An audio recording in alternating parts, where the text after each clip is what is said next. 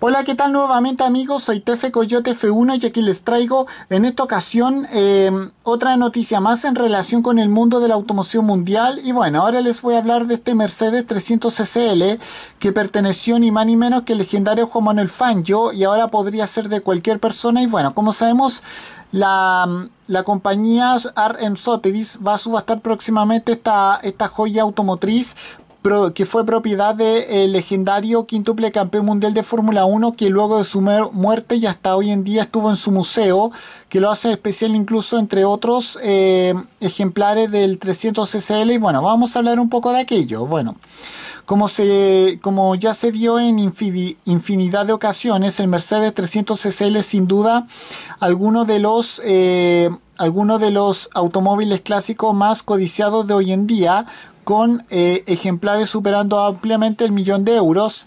Sin embargo, si al valor del el valor propio del famoso eh, coche ala de gaviota le suma eh, de, haber de haber sido propiedad del legendario quíntuple campeón mundial argentino oriundo de Valcarce Juan Manuel Fangio, el, el valor se dispara mucho más. Bueno, bueno, eso es justo lo que se encuentra ahora en uno de los últimos anuncios de Sotheby's, que sin duda será una de las grandes atracciones de la siguiente subasta que celebrará a finales de este presente mes de febrero, ni más ni menos que un Mercedes 300 CCL año 1958, que fue el automóvil personal de este legendario eh, corredor argentino y que ahora está buscando un nuevo propietario.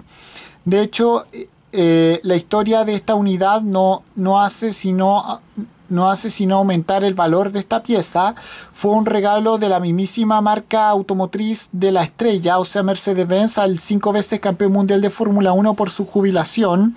Eh, un modelo que utilizó primero en Europa y posteriormente en su casa en Argentina, donde ya permaneció eh, con él hasta el fin de sus, eh, de sus días. Luego de su muerte, este vehículo vivió hasta hoy en día eh, como parte de la colección del Museo de Fangio, precisamente en Balcarce. De hecho, yo, yo hace ya, hace casi ya siete años que visité este museo. De hecho, tengo videos en mi canal de ese museo.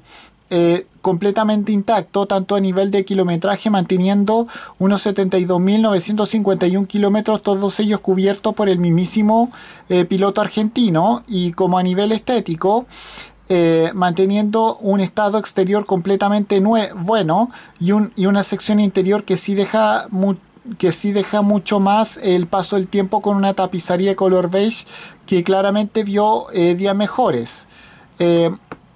Este, este modelo será, eh, será subastado en un, en un evento que tendrá lugar el próximo día 28 de febrero, que tendrá lugar entre los días 28 de febrero al 4 de marzo, aunque la venta será privada, por lo que el precio final no se va a hacer público.